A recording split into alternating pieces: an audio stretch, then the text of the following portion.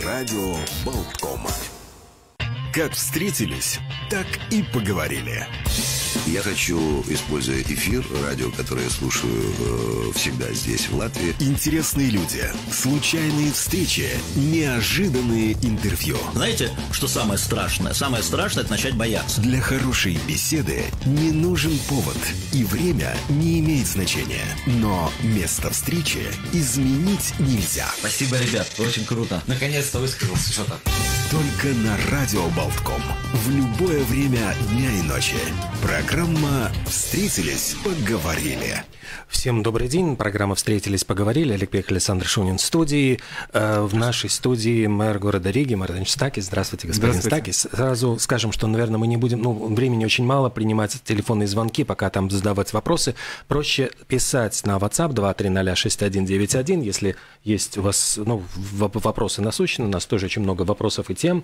Да, если есть вопросы, то вас есть полчаса, чтобы их задать с помощью WhatsApp-чата. Пока начнем с наших. И первое даже не вопрос, а хочется поблагодарить господин Стакис вас за вчерашнее очередное обращение а, ко всем джанам а, на нескольких языках о том, что все важны, и мы считаем, что и подобные слова поддержки, объединяющие тоже в это непростое время нужны и важны. Так что еще раз э, большое вам спасибо за это обращение.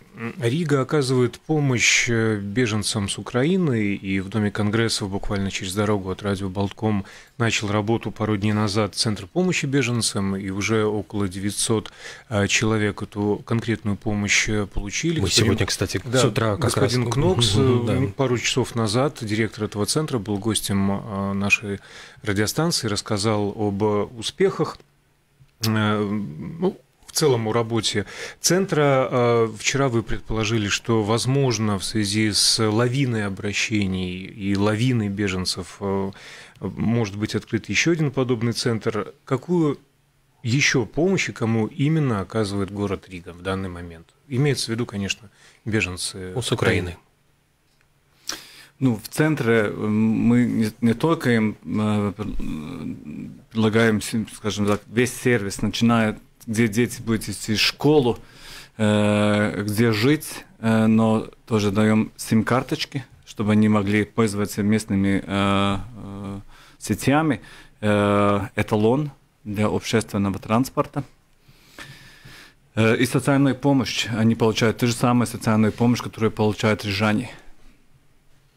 А в этой связи, э, ну вот вы только что упомянули, среди прочего, определенное количество бесплатных э, поездок в общественном транспорте. Известно ли, в какую сумму обойдется городскому бюджету вся эта помощь? И, возможно, как-то ее э, компенсировать? Есть какие-то соображения уже?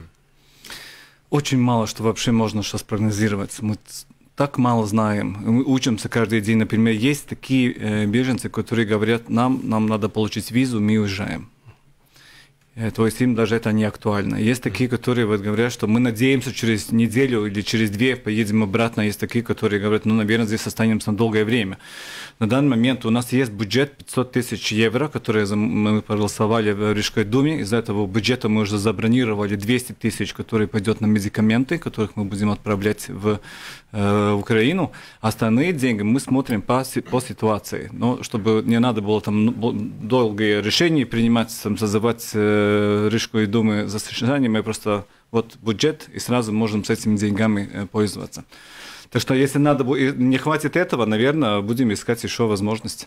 Если люди хотят помочь э, волонтерами, э, принести еду, деньги, лекарства, как это можно сделать организованно? Да, главное вот во- как раз слово организованно, потому что спасибо всем, которые хотят помочь, но иногда это не очень помогает. Э, Ну, например, с сегодняшнего дня мы начинаем э, там тоже э, зуб по свертовы, э, то есть, чтобы люди могли покушать, э, и там как раз это дает волонтеры, э, ресторан Эндейс из Велвайрак Саулас.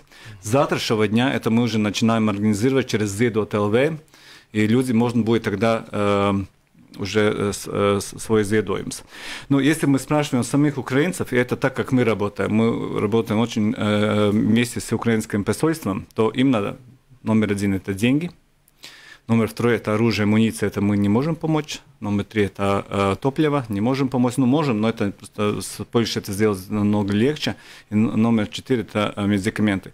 Я бы сказал, что те, которые хотят помочь, номер один – помощь. Принимайте к себе семье. Это самая-самая э, важная помощь сейчас на данный момент. И второй – помогите деньгами. Э, вот через все эти акции, которые идут, потому что это уже идет как организованное. Потому что есть тот, который приносит, например, не знаю, бутерброд э, в центр, я знаю, что вы хотели хорошее, но мы должны быть уверены, что, например, этот бутерброд, у него, не знаю, ну, все в порядке с продуктами, ну, mm-hmm. даже так. Поэтому через, только через вот всякие организации мы можем помочь. Но там есть э, где-то э, если не ошибаюсь, три организации, которые помогают сразу там, и одна из них даже деньги дает сразу беглецам. То есть, опять же, можно идти к ним и спрашивать, давайте мы тоже готовы помочь. Ну, тем более, что на портале MixNews LV все эти электронные адреса и ссылки тоже а, указаны. Это и Ziedot LV, это и Palīdzi Ukrainai и так далее. Mm-hmm. И, безусловно, после нашего разговора в расшифровке мы еще раз укажем и повторим. Спасибо.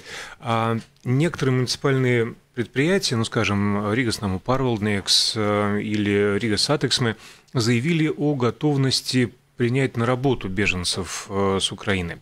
А известно ли вам, какой может быть э, эта работа, тем более, учитывая, ну, все-таки от них никуда не денешься, требования об, ну, во время трудоустройства латышского языка?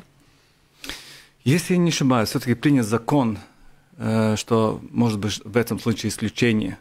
Ну, например, мы можем предложить женщинам, потому что в основном эти женщины, которые приезжают, Э, ну, например, делать группы, э, э, ну, такие маленькие детсадики.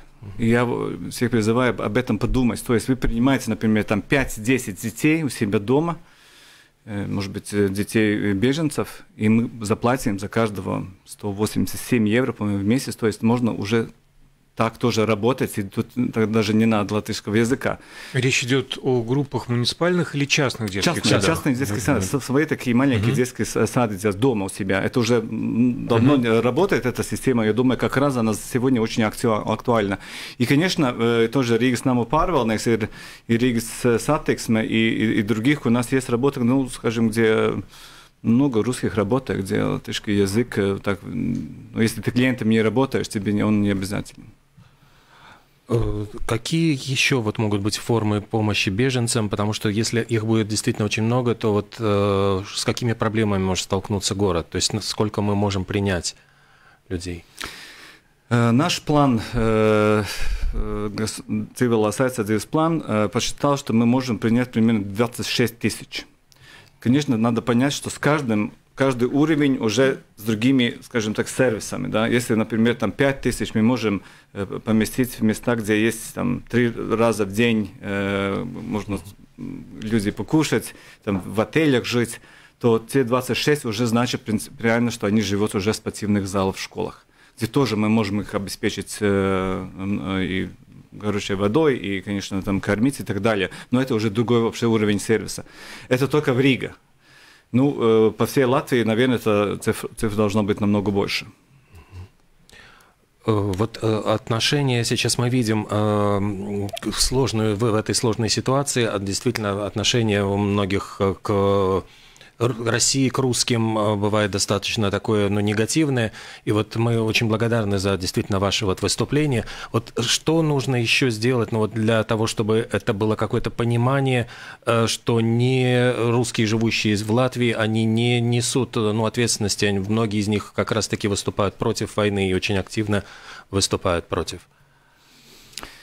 Э, я думаю, что это, этот вопрос решит время и очень в ближайшем будущем. Я думаю, даже этой неделе, потому что если Украина за эту войну заплатит многим жертвами, э, разрушенной экономикой, э, инфраструктурой, то мы все, все заплатим деньгами. И нам будет дороже все. Бензин, топливо, э, продукты и так далее. И надо понять, э, кто в этом виноват. А виноват только один это убийца народов Владимир Владимирович Путин и его банда, конечно. И не, не я эту войну хотел, не я э, эту войну начал, не, не я эту э, войну э, поддерживал. И мы должны понять, что все, которые против этого, наши люди, это было и мое обращение, и я обращаюсь и сегодня всем всем жителям Латвии, что все, которые против этого, это наши люди, и, пожалуйста, э, спросите, по крайней мере, какой он позиции перед тем, как вы, не знаю, идите на какие-то действия. Это очень важно. Я бы хотел, конечно, чтобы политики Латвии больше об этом говорили. Я пока мало слышу вот такие э, объявлений со стороны политиков. Это очень важно. Если мы оттолкнем людей, которые в нашей стороне, они нам это никогда не простят. Вот да, вот вы как раз упомянули о том, что действительно эта война отразится на э, всем, и в том числе вот на росте цен. И вот сегодня как раз таки господин Каринч сказал о том, что нужно ну, менять наши даже привычки, понимая, что мы э, действительно столкнемся с экономическими трудностями. Вот как, если говорить уже более широко, э, могут оказаться многие люди, особенно неимущие люди, в сложных ситуациях, может быть, возникнут проблемы с коммунальными платежами. Мы видим, что ну, они очень растут и шокируют людей. Вот здесь город может какую-то помощь оказать? Не только, вот я имею в виду украинским беженцам, а уже mm-hmm. вот рижанам. Да, ну, э, не Риgas наму pārvaldnieks, не Риgas ūdens, не Риgas siltums не будут выставлять э, проценты штраф. Да? То есть, э, если, конечно, не можете заплатить за, за счет сегодня, э, но можете, не знаю, в течение 6-9 месяцев, мы подождем. Это раз. Второе, э, у нас есть фонд резервы, где примерно 14 миллионов, которых мы не тратим, которых мы держим вот как на, на всякие кризисные ситуации. И уже сейчас мы знаем, что фонд поддержки этого вот mājokļa pabalsts, он, наверное, нужен будет намного больше. То есть э, к этой ситуации мы готовы. Э, ну, такие другие сейчас э, шаги не, не, не обсуждаю, но, конечно, помощь можно, может быть и другая. Например, мы знаем, что в Rīgas satiksme и тоже будет сейчас другие затраты на топливо. Но мы будем держать цену на эталон, на, на поездку низкую, будем за это платить, чтобы людям жизнь с этого не стала дороже. А, в этой связи, уже переходя от э, кризиса в мире, войны э, на, на, на, на, на уровень города, в принципе, в ближайшее время может воплотиться ваша мечта, чтобы максимум пересел на велосипеды. Бензин просто э, не смогут себе люди позволить. В этой связи а какие э, есть планы по развитию инфраструктуры на ближайшие месяцы? Моя мечта была другая. Моя мечта была так, чтобы люди ездили спокойнее в этом городе. И, и, и, и поняли, что э, этот город сделан не только для машин, но и для пешеходов и велосипедистов. И ну, я рад, что мы в прошлом году э, много что уже сделали в этом, э, почти 20 километров э, новых велодорожек, и в этом году две новые велодорожки будут сделаны, Зепный Калм-центр закончим, и новая дорожка, которая идет именно Даугавгрива. И я, конечно, это уже получаю, слышу как зеленый сигнал, что можем еще э, храбрее вперед. И, и меня не надо уговаривать на, ну, видимо, в этой этого. ситуации поддержка будет больше и шире. Я вообще-то бы очень просил людей больше использовать общественный транспорт, mm-hmm. потому что общественный транспорт будет э, труднее всего. Э, и мы не будем поднимать цены, э, но нам до этого дня еще есть минус 40% Э, количество пассажиров. И мы знаем, что уже э, самое сложное в COVID-ситуации уже позади, то есть люди, люди могут уже храбрее, скажем так, ехать на, на смелее ехать на общественный транспорт. Ну, это тоже помощь городу, э, ехать на общественном транспорте. А какие основные проекты в городе, в принципе, намечены на весну и лето 2022 года? Этот год я назвал сам э, год Саббата, э, Саббата Гатс, то есть потому что я не хочу большие новые проекты взять, я хочу закончить те, которые мы начали. А начали у нас есть три огромные проекта. Это Скултис Парвац, это большой мост, который в Санкандаугаве. Это мы начали две э, новые э, э, большие дороги, магистралы. Это Аустро-магистрал первая и вторая э, карта. И, э, и мы знаем, что сейчас идет новый период планирования в деньгах, в деньгах Евросоюза, то есть э, мы хотим быть готовы к этому, потому что мы выдвинули много э, денег на новый проект, чтобы начать работать только на проект на бумаге, чтобы были готовы к этим ситуациям. Но у меня есть хорошая, ну, хорошие такие новости из э, стороны правительства, что в ближайшие недели уже будет принято решение насчет э, специальной программы для Риги, примерно на 120 миллионов, э, на, для помощи инфраструктуры. И чтобы мы могли э, до, до 25 до 26 года закончить э, э, большой ремонт четырех мостов и одной большой магистрали Мукасалса. И что это за четыре моста? Это Вантовый мост, это Земитана мост, это Гайса Телцелевев, как называется мост. Угу. И Даглоба.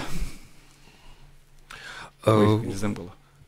Насколько вот э, мы все за время пандемии, действительно, вот ну, люди, может быть, уже соскучились по каким-то большим городским мероприятиям и, наверное, вот э, соскучились по праздникам, потому что так мало вот возможностей как-то порадоваться чему-то. Будут ли организованы летом, например, ну, празднование Лига или какие-то, ну, такие мероприятия, которые э, как раз, ну, летом, может быть, как раз-таки волна пандемии пойдет вниз, и можно будет на улице отметить? Ну, очень бы хотелось, конечно, но то, что я могу сказать, ну, на, ну, ну, ну нет, ну, скажем, уже больше на 100%, но договор подписан и деньги на это видны, это э, праздник Позитивус. Uh-huh. Он в этом году и следующие два года будет в Риге, и он будет по-другому э, организироваться, не, не чем как это было в Салацгриве, потому что до полночи вся тусовка э, на Луцавсале, а потом люди приходят в город, и много всяких мероприятий будет как раз в городе целую неделю. И я думаю, здесь будет много людей, много туристов, много э, гость, э, гостей. И это раз, но и все остальные, которые Рига до этого организовала, мы всем э, обеспечили э, финансирование. Ну а касаемо конкретно Лига на набережной, то, к чему жители при... успели привыкнуть? Э, скажу откровенно, пока в бюджете такие деньги нет, но резервный фонд там есть забронированные деньги и для этого. И, наверное, решение примем ну, где-то в апреле. Э, касаемо различных празднований, не так давно было принято решение отказаться от салютов. Это больше экономические соображения или экологические? Ну, чтобы не собирались люди вместе, да? Ну, это чтобы не собирались люди вместе. Я лично против, я не очень люблю, но я знаю, что многим рижанам это нравится, так что мы будем принимать решения не, не так, как я хочу, а так, как рижане это хотят. Ну да. Эм, я, может быть, вот ну, культурные мероприятия какие-то, которые сейчас вот проходят тоже в городе, Ардок Фест, мы видим, что переехал э, в Латвию, ну вот из России. Вот такого рода, может быть, какие-то мероприятия, которые организовываются в, в городе, э, ну вот недавно приехавшими, вот из, в том числе из, из России, деятелями кино, искусства. Вот здесь какая работа идет?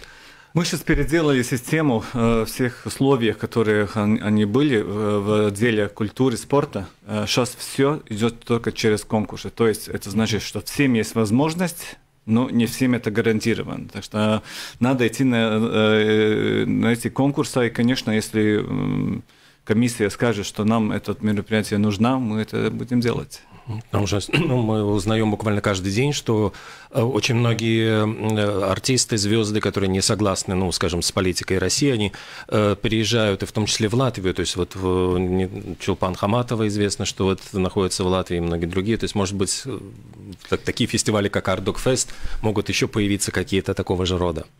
Ну, см- будем смотреть. Это ни- ни- ничего не могу обещать. Это очень зависит от бюджетной ситуации Риги. Я думаю, что в этом году, наверное, надо будет даже переделать, может быть, и бюджет, потому что все-таки ну, из банка прогноз уже негативный. Uh, ну, не только uh, артисты приезжают, и журналисты. Uh-huh. Например, Deutsche Welle да. uh, переносит свой офис сейчас uh-huh. в Ригу. Э, Рижская дума как-то участвует э, в этом переезде? Предоставляет, может быть, помещение или нечто другое? У нас есть вот новое это агентство туризма и инвестиций, и как раз это их задача помочь вот всем инвесторам или другим, которые хотят в Латвии делать в офисе, э, сервисом с этим, да, помочь им местам и, и дать какие-то там у нас такие зеленые коридоры, чтобы легче было получить все разрешения и так далее. Говоря о работе этого агентства в связи с э, ситуацией э, вокруг Латвии, России, Украины, будет ли в принципе переориентирована ее э, работа на западные страны, может быть, на, на Азию? Ну, я бы сказал, что сейчас как раз восточный рынок, э, там намного э, лучше смотреть, потому что если многие э, офисы сейчас уезжают с России, то я думаю, мы должны их пригласить как раз в Ригу э, переехать. Так думаю, вот это э, вот в этом надо работать.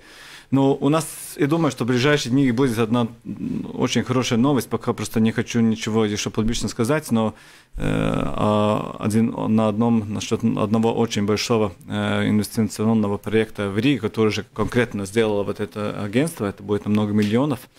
Но э, не только это агентство работает, например, Бувалде, э, у нее есть этот зеленый коридор на большие проекты инвестиций. Но в прошлом неделе мы уже одобряли э, уже сотовый с, с, по номеру, ну, симтез, э, проект, mm-hmm. а каждый проект это десятки миллионов, которые идут. И на след... ну, в этом году и на следующем году будет примерно 3-4 тысяч новых квартир в каждом, э, в каждом из этих годов, что Рига растет. А что касается как раз эм, недвижимости, как осуществляются планы по реорганизации муниципальных предприятий, их соединение в одно, вот это, которое будет э, управлять городской недвижимостью? Ну, очень постепенно. Сейчас эм, там работают консультанты, потому что основная работа сейчас, э, она одна из самых труднейших, это когда э, четыре вот эти организации сходят вместе и сравнивают, у кого лучше работает система. Я знаю, что никто не хочет отказаться от своей системы, он привык к этому работать. Но э, консультанты вместе с нашими экспертами должны сказать, вот, например, бухгалтерская система ваша самая лучшая, uh-huh. то есть все будут работать под этой системой, мы э, э, выбираем эту систему. Ну вот, вот в, на данный момент мы в этом процессе. Я думаю, что это займет по минимум полгода, и здесь торопиться не надо. Лучше, чтобы сделали все как надо. Летом э, мы постоянно сталкиваемся с тем, что э, рестораторы, владельцы кафе э, переживали, ну, вот действительно сложные вот времена. Насколько летом ожидается, ну, вот помощь этой вот в сфере гостеприимства, как, ну, которая включает и рестораны, и, и гостиницы, здесь вот город будет участвовать, ну, чтобы как, каким-то образом поддержать, восстановить эту сферу? Мы уже облегчили многое uh-huh. из условиях э, в, в этой сфере уже перед ну, во время эпидемии, и мы все остановили, оставили uh-huh. как есть. То есть там уже бюрократии очень мало. То есть если ты уже один раз получил разрешение на вот эту э, террасу, uh-huh. и ты ничего не меняешь, то можно просто ставить следующие годы, и потом еще три года, и то, если опять ничего не меняется, очень быстро можешь опять получить новое разрешение. Я думаю, что я не могу дать удочки, mm-hmm. мне самое главное дать ему рыбу, да. скажем так. Я думаю, что э, привлечь здесь туристов – это задача Риги номер один. А это как, mm-hmm. как раз можно сделать через вот такие э, всякие мероприятия в культуре и спорта. Ну, в этом году будет еще что? Будет ралли э, VRX, один из э, posmiem здесь битерники, и первый в мире, который будет только на электроауто. Э, интересный такой. И, и мы получили права на э, Э, на э, мировой чемпионат по э, беганию, скрешен. Mm-hmm. Это первый раз тоже в, в Латвии, но это будет только в 2023 году, мы уже, в этом, ну, уже готовимся. Ну вот через такие мероприятия, наверное, лучше всего. Ну и могу просто скажу еще одну вещь. Ну, я не, пока не знаю, как эта ситуация изменится, но у нас каждый день мы получаем информацию, сколько свободных мест в отелях. Ну, потому что мы хотим там отправлять и mm-hmm. Беженцев. Ну, там почти свободных мест не осталось не из-за беженцев, ну а как раз того, что уже полное брони... Э, забронированы они. Э, что касается лета, два последних года проводились эксперименты, то пешеходная улица Тербутас, то различные э, катки, растения, скамейки в центре города, и вот Виртенс, все эти лампочки тоже. А что-то планируется, похоже, будущим летом этого года?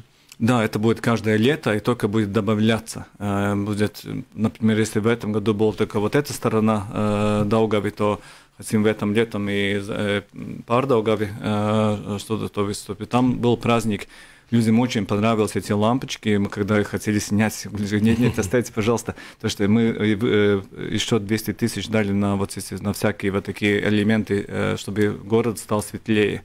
И, наверное, они там останутся на, на долгое время, не только на лето. Да, это красивая идея, конечно. Mm. Вот та же самая улица Базница, она, безусловно, преобразилась за последний год. А о более серьезных вещах э, не так много времени остается, а спросить хочется. А в середине февраля вы заявили, что бюджет Риги э, потерял 139 миллионов э, в связи с выплатами подоходного налога а с населения. Ведутся ли какие-то переговоры с правительством, чтобы э, изменить систему этих выплат, и городу оставалось больше денег на тот же самый ремонт улиц, да на любые проекты? Ну, если правительство примет решение насчет э, этой программы 120 миллионов, я бы сказал, что я беру свои обратно, э, слова обратно. Тогда, скажем так, нам наши деньги вернули. Э, потому что, конечно, я понимаю, что правительство не может просто так дать деньги, она может сделать специальные программы. Ну, и, и то, что я все время говорил, что нельзя быть такой ситуации, что Рига – на Ригу смотрит как на одно из самоуправлений Латвии, как это, например, идет через виды сайта действительно соответствия с министрией. Но Рига – это наш самый большой город, и для него должна быть специальная программа. И вот и финансовый министр, и премьер-министр услышал это, и поэтому я уже знаю, что уже есть резолюция премьера. Хорошая новость. Это действительно да. хорошая Но, новость. Она будет хорошая новость, когда они примут решение. Будем надеяться. Ну что же, наверное, нам показывает, что время... Да, как раз время заканчивать этот разговор. Огромное спасибо, господин Стакис, что нашли эти полчаса прийти к нам в гости и, и ответить на наши вопросы. Да, и всегда рады будем видеть вас снова. Спасибо большое. Приглашайте. До свидания. До свидания. Вы слушаете «Радио Болтком».